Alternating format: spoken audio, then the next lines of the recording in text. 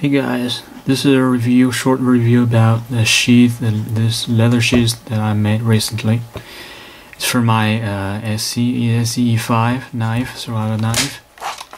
Up the knife aside. And uh, as you can see that is the whole sheath, uh, the whole design coming from um, Hedgehog Leatherworks. And these guys are genius. Paul Scheiter is a genius um, I borrowed the design from the other sheet for uh, Tom Brown Tracker and um, as you can see that the whole thing is um, is almost identical. First thing I want to talk about this uh, is this retention belt. and it's also a Hedgehog Leatherworks design originally. Um, it's very useful, very functional, very fond of it. And um, I w what I want to point out is that the, uh, the the bungee cord the bungee cord may uh, may be worn out over time, but you can always change it. it I mean, it, it's changeable. The the uh, the original design is also changeable. But I um I didn't take the uh, the stud here. The uh, the original design from Hedgehog Leatherworks they used the uh, the stud for also for the lock for uh, for for knife lock. But I didn't use that. I picked the snaps because I think over over time also over that over time the small hole here you can see small hole here will will be used out too. And it, it will be uh, deformed it will be uh, stretched and deformed. And it's not good for uh, security purposes. So I chose the uh, snaps button. Now this works good. It just it perhaps it makes a little bit noise, but I don't care. Yeah. and um, yeah, the pouch. I like this design. The strip. As you can see, I, I also I also uh, add the strip uh, in the pouch. I mean, if you if you put something uh, for example this this little box the little box of dental floss. If you if you put it in I mean without the strip you probably can never put it out because it, there's no space for fingers or anything else. But with this strip it's very simple. You can see. So it's very functional. As you can see there's drain hole here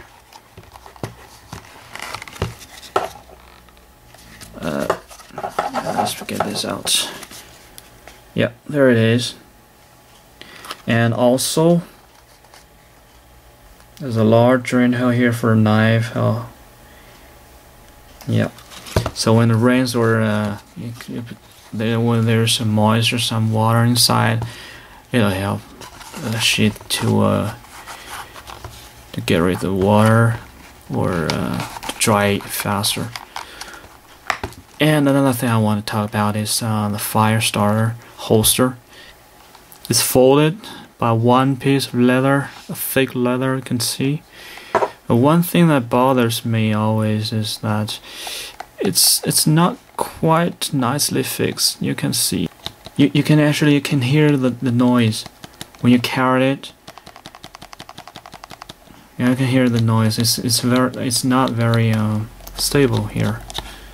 So that's something that I want to improve in my next work, perhaps. One thing, one more thing I want to talk about is the the belt. In my opinion, it's it's functional, but uh, in this model, it's a little bit too narrow. I mean, the leather, it's thick. It's uh, four millimeter thick. It's um, very, very sturdy, very tough material but uh, this this is just a little bit too narrow for me. So um, I'm gonna make it perhaps a little bit wider in the in my next work. So when I first uh, start started to uh, decided to make this leather sheath I uh, I forgot totally that I myself is a left-handed person. So it's kind of like a bummer to me. I'm I I don't know how I was so stupid. I forgot it totally. So uh, I'm gonna remake another one um, with left-handed style, and um, mm, I'm gonna make an improvement in order to make it interchangeable. That means uh, it can change size. You can you can you can choose to carry it in your left side or your right side because this one doesn't change. It's totally fixed. You can you can see here two big pop rivets. Yeah, it, it's for one-time use. If you are uh, gonna remove it, you're, you're gonna have to um, um, drill, drill into, into the hole and uh, remove it and then remake another one. So what I'm gonna do next time is to probably to remove it and uh, and then it's not, not just remove, replace it with a with a kind of um, screw rivet, uh, uh, thick enough to uh, to get through all four layer of leather. I want it carried in my left side. I can easily un un undo the the the uh, the rivet and change this into another side. Yeah. So another thing that uh, doesn't make me uh, very satisfied is that these small rivets that I made. When when I made it, I didn't notice it. Actually, uh, Hedgehog Leatherworks, uh, they uh, they did stitches uh, aside the pouch, and they didn't use the rivets. I now see the reason because it's not beautiful. It's not. It's it's it's not cool. There with these little bodies, you can see the uh, the whole thing. It's just a little too much. There are just too much shiny little things on the leather. I mean, it's not pretty, like at all. So uh, I'm gonna just let uh, leave these two and these two, probably this, and these two little bodies and I'm gonna remove this and replace it replace them with uh, stitching next time so you can see plenty plenty of rivets and uh, another thing that keeps bothering me is here. The uh, you can see a little here the the little knots the little uh, stitching no um, thread knots the thread is waxed so the knots get bigger and uh, got thicker. I, I, I don't know what to do about I mean there's something um, some some buttons or I don't know what to call it to to to hide to uh, hide it behind the uh, those little things but I don't want to use it because it's uh, it's too much yeah, it's too much too. But I really don't know what to do with it because it's it's too obvious. It's too exposed, and um, kind of ugly. and talking about the make of this leather sheath, I did a lot of homework for that. I mean, I'm not a professional. This is my first piece of work with leather and uh, I didn't have any experience. Um, I learned it totally, learned from internet. Um, I checked out many videos on YouTube, uh, YouTube uh, videos from, uh, for example, Dracona 70 uh, and other guys. I mean, their work is great, totally inspired. Um, so, uh, I first made this paper models. This for the pouch. Let's see. This for the pouch.